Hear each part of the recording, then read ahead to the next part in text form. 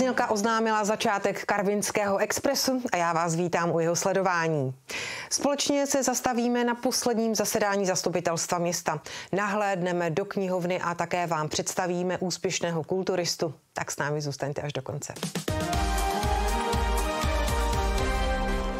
V sále obchodně podnikatelské fakulty se konalo v pořadí desáté zasedání zastupitelstva města.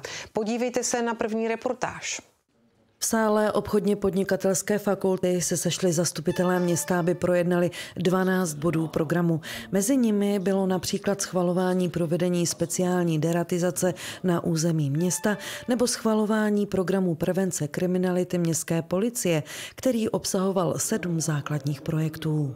Tak jako každý rok jsme představili programy prevence kriminality na nasledující rok. S tím, že bych vypichl dva projekty. Tím prvním projektem je eh, drogový vlak, který tady už byl poměrně dávno tomu. Další projekt je vlastně náš projekt, kdy budeme informovat veřejnost, jak si eh, chránit majetek a ten projekt jsme nazvali Příležitost dělat zloděje. Bude to obecná osvěta, ať už formou eh, nějakých médií, sociálních médií, tak samozřejmě i besed. Mezi další schválené projekty, které budou financovány z rozpočtu města a které budou pokračovat, je forenzní značení jízdních kol a invalidních vozíků syntetickou DNA, hokejbalem proti drogám, seniori bezpečný domov, besedy pro rizikové skupiny nazvané Bezpečně po celý den, týkající se šikany, podvodů, problematiky návykových látek a další.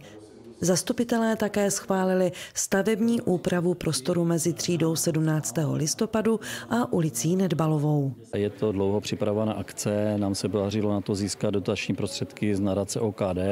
Zbývající finanční prostředky eh, budeme řešit v rámci našeho rozpočtu.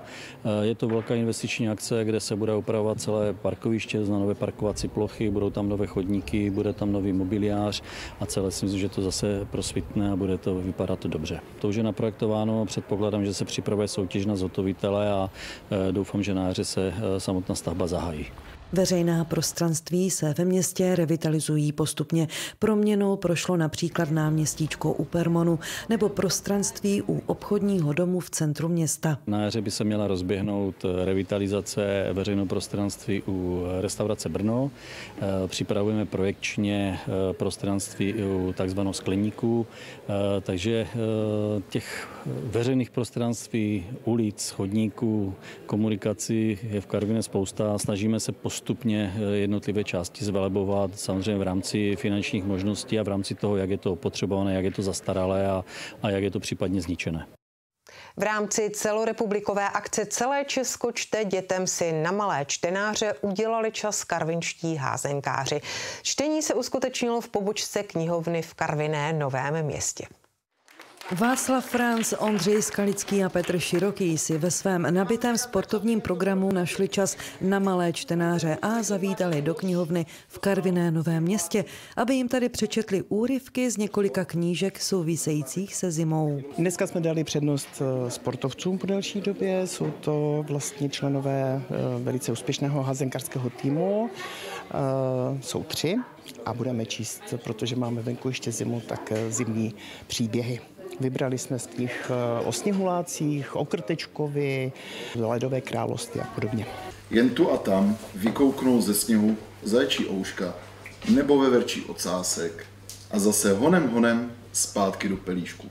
Jeden z házenkářů, Václav Franc, má ke knihám velmi blízko. Čte hlavně při výjezdech na zápasy. A já osobně preferuji momentálně nějaké autobiografie. Můj velký koníček eh, jsou i, nebo je motorsport, takže samozřejmě autobiografie o daných jezdcích. V dětství mu četli rodiče před spaním, když už číst uměl, dával přednost českým klasikám a nevyhýbal se ani povinné četbě. Děti by si podle něho i v dnešní počítačové době měli čas na čtení knížek najít. Dneska ty opravdu jenom sedí u počítačů, u mobilů a je potřeba, aby si jednou za čas něco přečetli.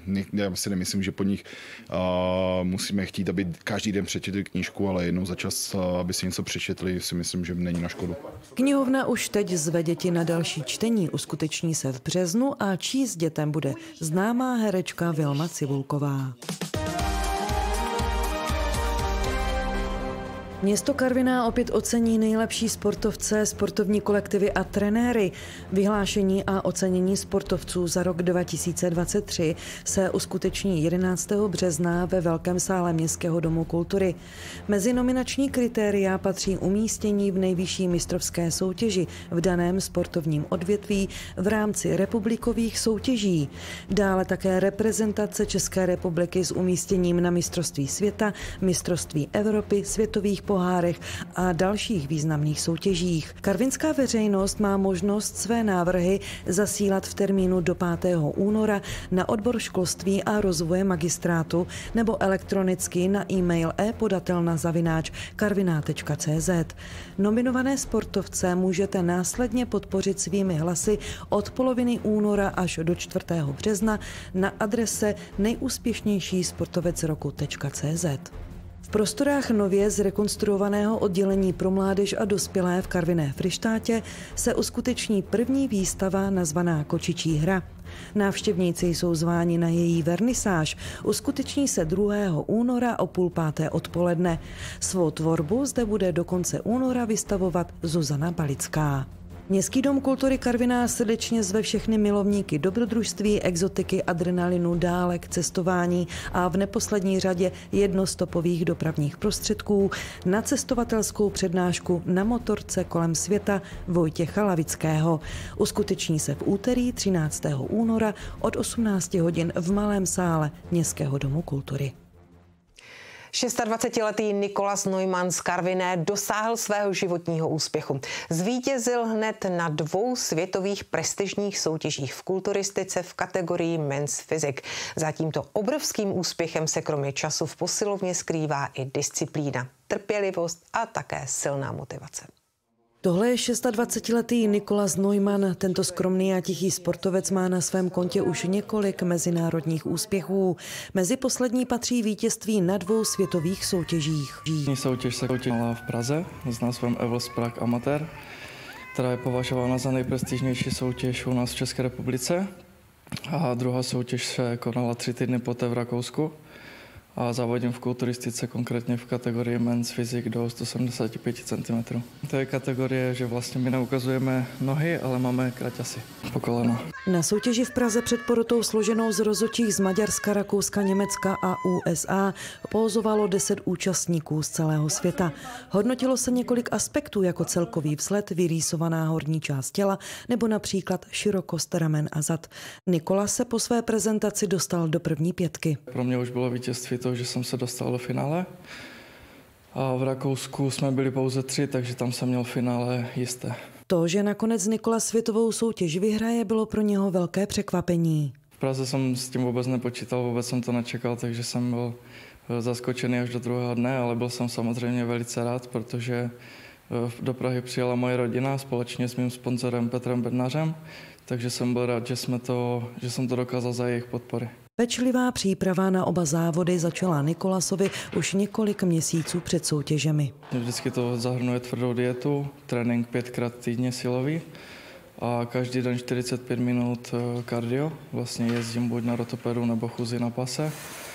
A čím více blíží den závodu, tím více utahuje jídlo a přidává se na intenzitě tréninku, takže je člověk vždycky dost unavený a je to dost, dost náročné. Stejné soutěže se Nikolas zúčastnil i v roce 2022, kde skončil druhý. Měl tedy velkou motivaci být ještě lepší, což se mu povedlo. Letos jsme se s trenérem rozhodli, že dám pauzu, abych mohl nabrat dostatek svalové hmoty a v příštím roce chceme zabojovat o profikartu. Pokud se mu to podaří, zařadí se Nikolas do kategorie profesionálních sportovců. Nikolas také svůj čas věnuje dalším zájemcům o cvičení, pomáhá jim z jídelníčky a sestavuje tréninky na míru. Kontaktovat ho může na sociálních sítích nebo na jeho oficiálním webu každý, kdo má chuť změnit svůj životní styl. Karvinský Express končí. Děkuji vám za pozornost a těším se na viděnou s vámi opět na konci týdne.